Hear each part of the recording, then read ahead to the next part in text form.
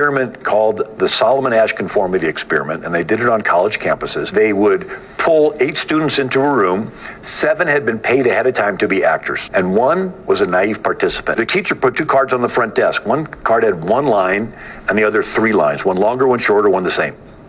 And one by one, the paid actors would stand up and convincingly say that the shorter line was equal to the first line. By the time it went around to that eighth naive participant, 30% of them would deny their own eyes to fit in with the group. They found out that if just one of the other people objected, it went from 30% down to 5%. Mm, so, in other words, if you have the courage to call out the, the truth, you're going to encourage a lot of other people to stand up. It is a true story, and that is a very well known experiment. Yep, yep, yep.